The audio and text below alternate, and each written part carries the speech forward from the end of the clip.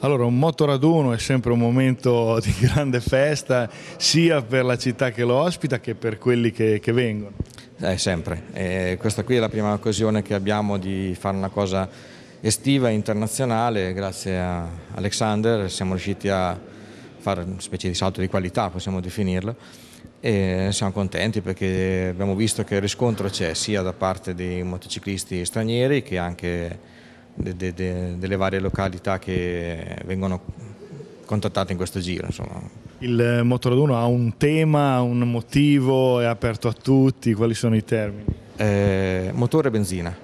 I termini sono da inizia sabato mattina e finisce martedì, uno può partecipare a una o più giornate, serate a suo piacimento con qualsiasi veicolo, due ruote possibilmente, anche sidecar e niente, si chiama Giro delle Marche perché lo abbiamo abbinato al Giro dell'Umbria, quindi faremo Giro delle Marche e Giro dell'Umbria.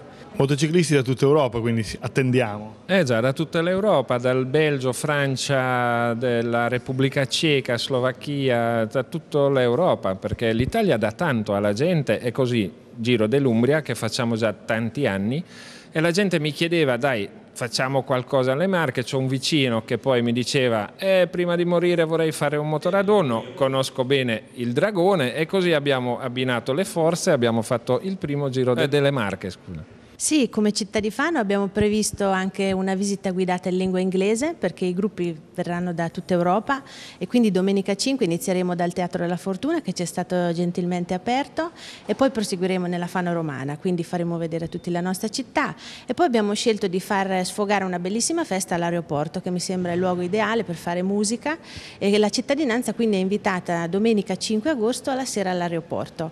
È stato un evento che è nato dal basso, sono stati cittadini cittadini di Ponte Sasso che ce l'hanno chiesto, Evandro Sebattini assieme al belga Alexander e abbiamo raccolto questa idea perché il centro sociale e sportivo di Ponte Sasso può ospitare anche questi eventi.